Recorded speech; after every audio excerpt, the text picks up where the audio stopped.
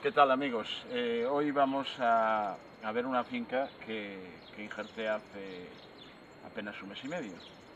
Eh, en ella eh, injerté varios ejemplares de cerezo de varias variedades. Eh, en Pulmusavium, esta es una finca de, de unos amigos, donde nacen varios ejemplares bravos, como os digo, de Pulmusavium, y en ellos injertamos, bueno, injerté con la ayuda de, de los propietarios de la finca, injerté, eh, como os comenté anteriormente, varios ejemplares de cerezo de flor y cerezo de, fruta, indos, de varias variedades. Vamos a ver ahora, ya os digo, a mes y medio, que ya los injertos han prendido en su mayoría, y incluso algunos ya tienen flor. Espero que os guste este reportaje y vamos a ver los ejemplares más de cerca.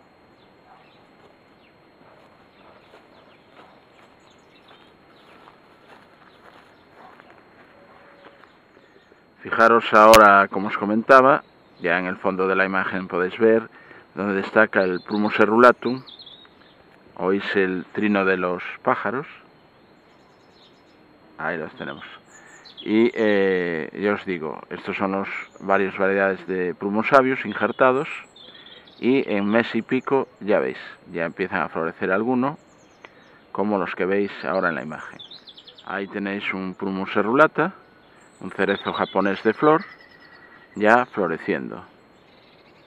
Veis eh, que, ya quiere empezar a abrir los capullos de este de unos ejemplares de Prumus serrulata injertado.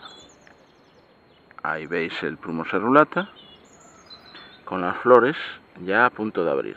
Ya habéis visto en anteriores vídeos de otros de los ejemplares que había ya injertado en mi finca. ¿Veis? Otro ejemplar donde de multitronco donde se han injertado varios cerezos. Ahí tenéis este es cerezo de fruta.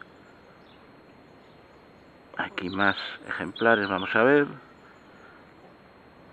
Fijaros al injerto. Y ya la flor. Algunos aún no han abierto la flor, algunos de los injertos porque son especies más tardías. Aquí tenéis ves aquí tuvo una dificultad porque el patrón estaba medio tumbado pero fue injertado igualmente lo injerté igualmente.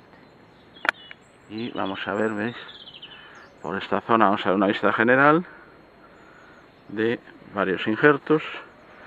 Y ya vais a ver cómo ahí tenéis otro ya floreciendo otro injerto.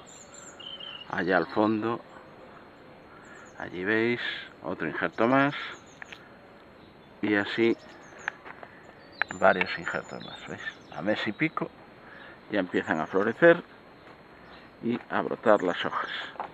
Vamos a ver ya para finalizar este último injerto.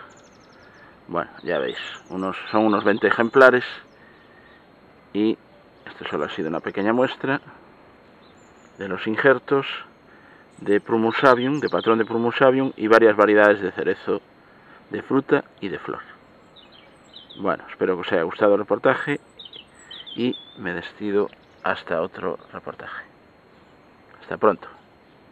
Ah, recordar que estamos a 14 de abril del 2013. Chao.